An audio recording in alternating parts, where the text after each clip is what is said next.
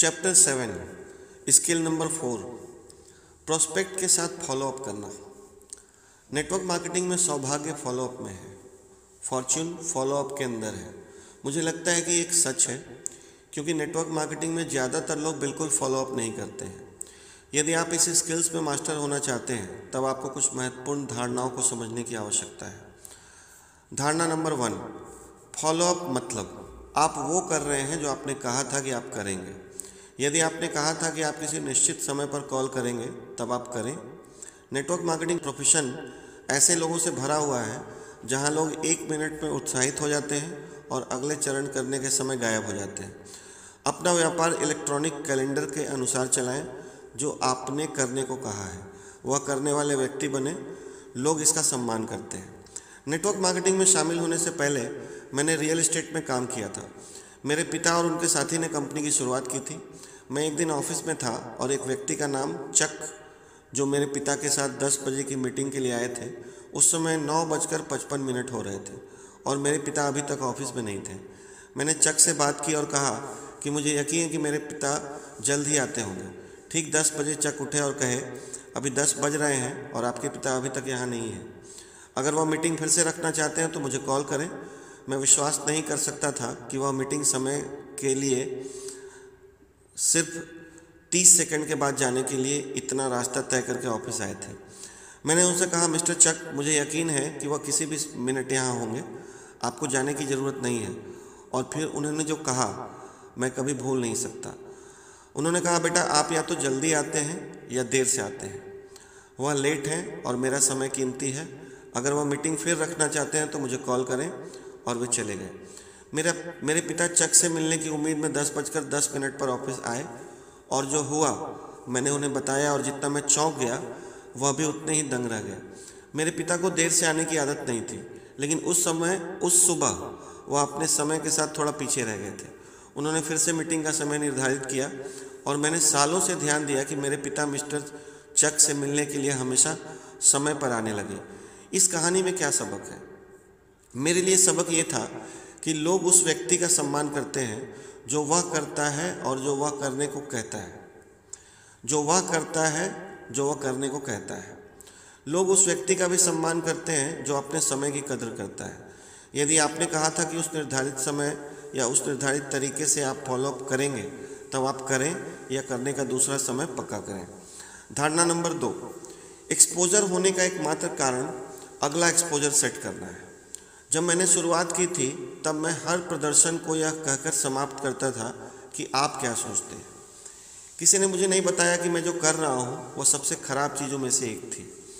यह एक सामान्य बात कहने के समान थी, पर मेरे मेरे परिणाम बहुत बुरे थे।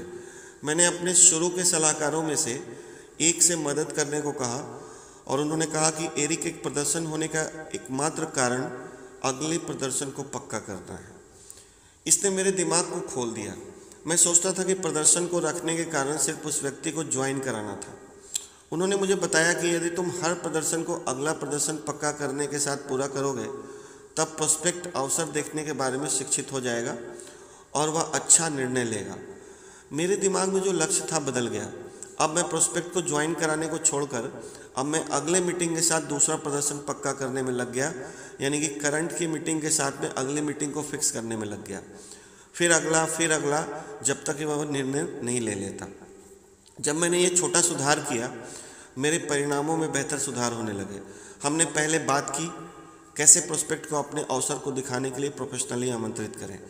इस प्रक्रिया के अंत में हम कई चरणों के माध्यम से अगले प्रदर्शन को पक्का करते हैं, जिसका अर्थ है फॉलो अप कॉल जो आपका अगला अपॉइंटमेंट होगा। जब आप प्रोस्पेक्ट को कॉल करते हैं, आप उनसे पूछते हैं कि क्या आपने दिए हुए टूल्स को देखा? वह कहते हैं, नहीं, मैंने नहीं किया था। वे कहेंगे हाँ मैंने किया था। आइए देखिए कि आप दोनों मामलों में अपने प्रदर्शन को कैसे पक्का करेंगे। यदि वह नहीं कहते हैं उनके पास टूल्स को देखने का मौका नहीं था। यह महत्वपूर्ण है कि आप उनकी इस कमी के कारण अपनी नाराज़गी नहीं दिखाएँगे। यह अभी लगता है, लेकिन ज़्यादातर लोग अपने प्रोस्पेक्ट पर कूदते हैं। मुझे लगता है कि तुमने कहा था कि मैं पक्का देख लूँगा। ये आपके अच्छे संबंध बनाने में मदद नहीं करेगा। जवाब देने का बेहतर तरीका यह है कि ठीक है, मैं समझता हूँ कि कभी कभी जीवन व्यस्त हो जाता है। आपको क्या लगता है कि आप निश्चित रूप से कब कर सकेंगे? जब आप ये कह सकते हैं कि निश्चित रूप से मैंने दशकों से बहुत साल से अपने फॉलोअप स्थिति में ये तरीका उपयोग किया है और मैं करता हूँ क्योंकि ये काम करता है। किसी भी स्थिति में आप कोई भी भाषा का उपयोग करके अगला समय पक्का करें। जब आप समय पक्का कर लें, उसमें अपनी अगली कॉल का दिन और समय भी शामिल करें और फिर उन्हें कॉल करें और पूछें कि आपने कहा था कि आप कर लेंगे। यदि आप उन्हें निर्धारित समय पर कॉल करते हैं और वह अब भी उन टूल्स को नहीं देख पाते हैं, तब आप ऊपर बताई गई प्रक्रिया को दोहराएँ, जब तक वह नहीं देख लेते। याद रखें, वह अगला समय निर्धारित कर रहे हैं और आप प्रोफेशनल की तरफ़ फॉलोअप कर रहे हैं। जैसा कि आपने कहा था कि आप करोगे। यदि आप प्रोस्पेक्ट को कॉल करते हैं और वह कहता है कि तब आप उनसे कुछ बुद्धिमान सवाल पूछेंगे, सबसे पहली बात, आप ये नहीं पूछेंगे कि आप क्या सोचते हैं। ये आपके प्रोस्पेक्ट के दिमाग में आपत्तियों भरे सवाल पैदा करता है। सबसे बेहतर फॉलोअप सवाल जो मैं उपयोग करता हूँ, आपको सबसे अच्छा क्या लगा? आपको सबसे अच्छा क्या लगा? ये सवाल आपको एक सकारात्मक दिशा में ले जाएगा। आप, आपको प्रोस्पेक्ट की पसंद जानने का सुराग देगा। अगर वह कहते हैं उत्पाद, तब आपका अगला प्रदर्शन उत्पाद से संबंधित होना चाहिए। यदि वह कहते हैं आर्थिक स्वतंत्रता तब आपका अगला प्रदर्शन अवसर से संबंधित, यानी कि एक बिज़नेस अपॉर्चुनिटी से संबंधित होना चाहिए। एक और बड़ा सवाल, एक से दस के पैमाने पर पूछने के लिए एक पर शून्य रुचि और दस पर शुरू करने को तैयार है। आप अभी कहाँ पर हैं? इस सवाल में से में एक से ऊपर कुछ भी अच्छा है, और ये बताता है कि उन्हें कुछ रुचि है। अधिकतर समय आपको पाँच या छः मिलेंगे। कोई फ़र्क नहीं पड़ता कि वो आपको कितने नंबर दिए थे। आपको जानना है कि आप उन्हें कैसे उच्च नंबर प्राप्त करने में सहायता कर सकते हैं। आम तौर पर इसका जवाब उस जवाब के साथ मिलेगा। आपको सबसे अच्छा क्या लगा? यदि वह, यदि जवाब बहुत सकारात्मक है और संख्या काफ़ी अधिक है, तब आप सीधे ज्वाइनिंग पर आ सकते हैं। ये अगले खंड में बताया जाएगा। अगर उनके नंबर अब भी कम हैं, तब आप सिर्फ़ अगला प्रदर्शन को निर्धारित कर सकते हैं। वह उत्पाद उपयोग करना चाहते हैं, इसलिए आप उसमें मदद करें और फॉलोअप का दिन और समय निर्धारित करें और उनका अनुभव प्राप्त करें। वह मार्केट प्लान को समझना चाहते हैं, इसलिए आप उन्हें घर के लिए कुछ टूल्स दें जिसे वह अपने पति या पत्नी से सलाह लें और फॉलोअप का दिन और समय निर्धारित करें। जो कुछ भी हो, आप एक प्रदर्शन को और अगले प्रदर्शन को निर्धारित करें, बिना कभी खत्म नहीं करें। अगर आप ऐसा करते हैं तो सब खत्म हो जाएगा। शुरुआत में मेरे साथ ऐसा ही हुआ था। मैं किसी को अवसर दिखाने के लिए मौका देखता था, और जब मैं अवसर दिखा देता था, तब मैं पूछता था कि तो आप क्या सोचते हैं? वह आमतौर पर उलझन में होते थे। मैं आपको बता दूँगा, या आपके पास वापस आता हूँ, या मुझे इसके बारे में और सोचने की ज़रूरत है, या कुछ इसी तरह वह कहते थे और वह चले जाते थे। जब मैं उन्हें कॉल करने की कोशिश करता, तब मैं सिर्फ़ उन्हें परेशान कर रहा था। जब मैंने खुद को बदला और कोई भी प्रदर्शन, अगला प्रदर्शन निर्धारित करे बिना खत्म नहीं किया, तब सब कुछ बेहतर होने लगा। मैं एक प्रोफेशनल की तरह नियंत्रण में था प्रोस्पेक्ट मेरा और मेरे अवसर का ज़्यादा सम्मान करने लगे थे। ये सब कुछ हुआ मानसिक रूप से एक छोटे से परिवर्तन की वजह से। धारणा नंबर तीन प्रोस्पेक्ट को ज्वाइन कराने में औसतन चार से छह प्रदर्शन फॉलोअप लगते हैं। जब लोग ये नहीं समझते कि एक प्रदर्शन का एकमात्र कारण अगले प्रदर्शन को पक्का करना है, तब वे प्रोस्पेक्ट और खुद पर अधिक दबाव डालते हैं। कुछ करेंगे, कुछ नहीं, करेंगे तो क्या हुआ? अगले हैं। एमएलएम के इस कल्चर में लोग एक व्यक्ति पर एक बार हथौड़ा मारते हैं और अगर वह तुरंत ज्वाइन नहीं करते हैं, वह आगे बढ़ जाते हैं और कभी उनका फॉलोअप नहीं करते हैं। कई मामलों में वह अपने खराब रवैया और प्रोस्पेक्ट के साथ संबंधों को हानि पहुँचाने वाले कदम उठा लेते हैं। प्रोफेशनल समझते हैं कि एक प्रोस्पेक्ट को इसमें शामिल होने के लिए औसतन चार से छः प्रदर्शन लगते हैं। उनका लक्ष्य होता है शिक्षित करना, समझाना। किसी को एक प्रदर्शन में शिक्षित करना बहुत मुश्किल है। इसलिए वह एक प्रदर्शन से दूसरे प्रदर्शन के संपर्क में लाते हैं। ये जानते हुए कि वह इसको समझ जाएगा। इस प्रक्रिया के माध्यम से वह प्रोस्पेक्ट के साथ एक मज़बूत संबंध बनाते हैं। वह दोस्ती को मज़बूत करते हैं। वह भरोसा निर्माण करने में मदद करते हैं और लोग अपने पसंद के लोगों के साथ काम करना पसंद करते हैं। चार से छह प्रदर्शन औसतन है, जिसका अर्थ है कि प्रत्येक व्यक्ति जो पहले प्रदर्शन में शामिल हुए हैं वह एक ऐसे व्यक्ति होंगे जो ज्वाइन कराने के लिए दस से अधिक प्रदर्शन लेंगे। आपको अभी नहीं पता कि नेटवर्क मार्केटिंग में कुछ अच्छे लोग इस अवसर में भाग लेने का निर्णय लेने से पहले सालों साल प्रोस्पेक्ट हुए थे। आप जल्दी में रहें, लेकिन धैर्य भी रखें। धारणा नंबर चार, बेहतर परिणामों के लिए एक्सपोजर को कंडेंस करें। पोजर्स किसी को प्रोस्पेक्ट करते हैं और आगे बढ़ जाते हैं। एम्यूचर किसी को समय समय पर प्रदर्शन के माध्यम से प्रोस्पेक्ट करते हैं।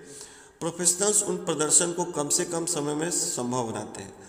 लोग हमेशा व्यस्त रहते हैं। और जब आप उन्हें कुछ नया दिखाने के लिए जा रहे हैं तो उनकी रुचि बनाए रखना महत्वपूर्ण है। सबसे अच्छा तरीका ये है कि जितना मुमकिन हो सके प्रदर्शन को करीब में रखें। अगर आप धीरे चलेंगे तो आप उनकी शुरुआत एक वीडियो देखने से कर सकते हैं। फिर कुछ हफ़्ते बाद उन्हें एक कॉन्फ्रेंस कॉल सुनने को दें।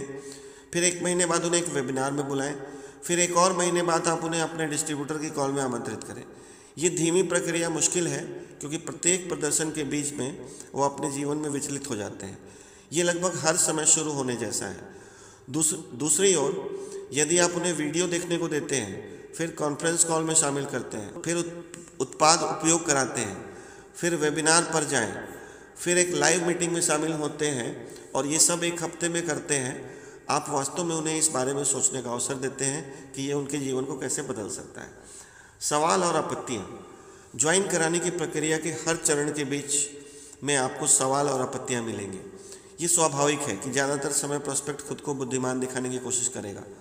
वह इसे आसान बनाना नहीं चाहेगा, इसलिए खुद को बेहतर महसूस करने के लिए वह आप पर आपत्तियाँ और सवाल फेंकेगा। आप कैसे प्रतिक्रिया करते हैं, ये महत्वपूर्ण है। यदि आप रक्षात्मक कार्य करते हैं तब आप उनके दिमाग में संदेह का बीज बोएँगे। यदि आप आक्रामक कार्य करते हैं, तब आप उन्हें दूर कर देंगे।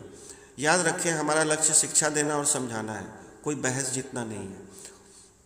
हमारा काम अंधे लोगों को देखने में मदद करना है। जब कोई नकारात्मक सवाल उठाता है, वह कोई आपत्ति सामने रखता है, वह वास्तव में आपको अपने अंधे स्थानों को पहचानने में मदद कर रहा है। ये जानना बहुत उपयोगी है कि वह क्या है, ताकि आप उन्हें खत्म करने में प्रोस्पेक्ट की सहायता कर सकें। मैंने देखा है कि आपत्तियाँ दो श्रेणी में से एक में आती हैं। पहला प्रोस्पेक्ट को अपनी क्षमता पर सीमित विश्वास कि वह सफल हो सकते हैं। दूसरा नेटवर्क मार्केटिंग पर सीमित विश्वास। वह यकीन नहीं कर पाते कि नेटवर्क मार्केटिंग उनके जीवन के लक्ष्य को हासिल करने में मदद करेगा। मैं आपको आपत्तियों को दूर करने के लिए कुछ रणनीति देता हूँ, लेकिन मैं चाहता हूँ कि आप धारणाओं को याद रखें।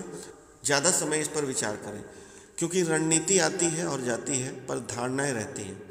दोनों श्रेणियों के लिए सबसे अच्छी धारणा में से एक है सहानुभूति। आप लोगों से कैसे संबंधित होते हैं? लोगों से संबंधित होने का सबसे अच्छा तरीका है उन्हें बताएँ कि आप भी वैसे थे जैसे वो हैं।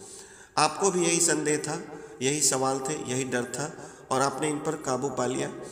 आप माने या ना माने प्रोस्पेक्ट के सवाल और आपत्तियों पर काबू पाने के लिए आपकी कहानी किसी भी चीज़ से बेहतर काम करेगी। एक पुरानी युक्ति जिसे कहते हैं फील फेल्ट फाउंड ये धारणा सहानुभूति के साथ काम करती है। जब कोई प्रोस्पेक्ट आपत्तिजनक सवाल करता है, तब आप जवाब दें, मैं जानता हूँ आपको कैसा महसूस हो रहा है। मैंने भी ऐसा ही महसूस किया था। लेकिन मुझे जो यहाँ मिला वह आप इन शब्दों को अपनी महान सफलता के साथ उपयोग कर सकते हैं। आप इसे अपनी कहानी और प्रोस्पेक्ट के आधार पर बदल सकते हैं।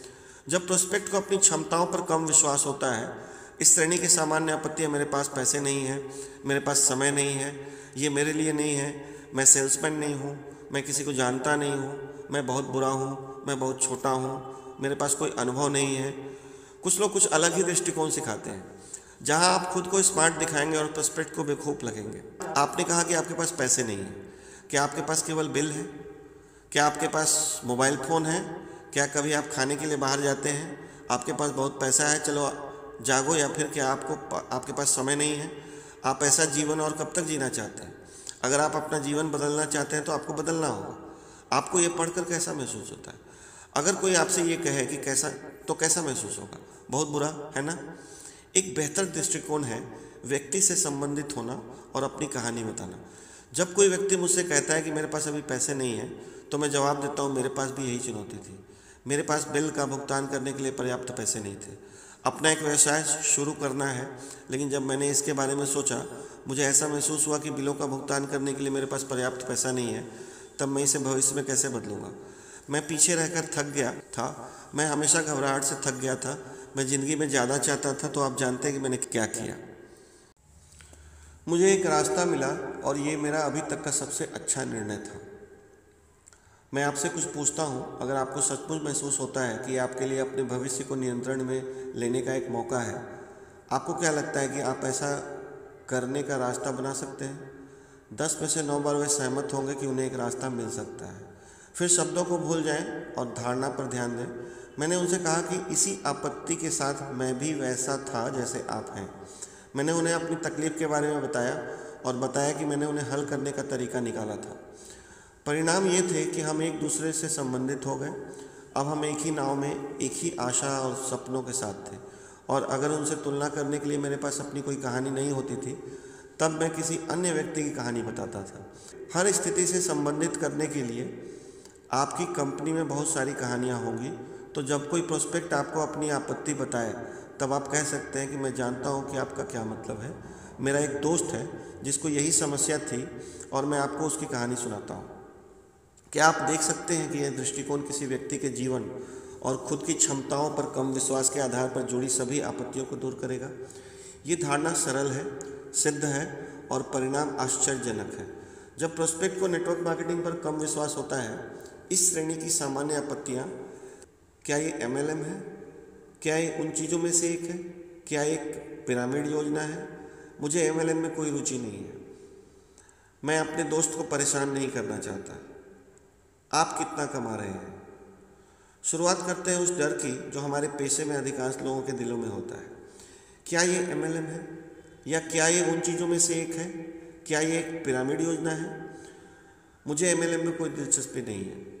कुछ लोग पागल हो जाते हैं जब वो यह सवाल सुनते हैं। वे कहते हैं, पिरामिड योजना दुनिया की हर कॉरपोरेशन की तरह, सरकार की तरह, आपका मतलब ये उस तरह है? अपने प्रोस्पेक्ट पर पागल होने की बजाय ये महत्वपूर्ण है कि ये सवाल आप समझें कि ये कहाँ से आ रहा है। मेरे अनुभव ने मुझे सिखाया कि वह किसी को जानते हैं जो नेटवर्क मार्केटिंग में शामिल हुए थे और सफलता नहीं मिली, या फिर वह स्वयं शामिल हुए थे। ये सिनेरियो अच्छी तरह दर्शाता है कि 90 परसेंट लोग इस तरह का सवाल पूछेंगे।